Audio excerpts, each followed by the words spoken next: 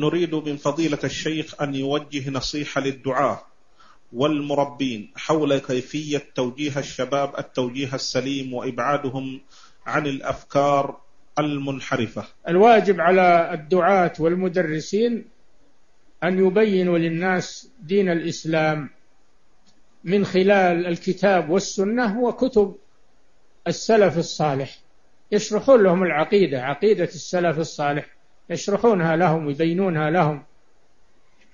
ولا يقتصرون على مجرد الكلام العام أو الوعظ العام. لا يبينون لهم يدرسونهم تدريس. يدرسونهم أصول العقيدة ومسائل العقيدة ويبينونها لهم ويوضحونها لهم.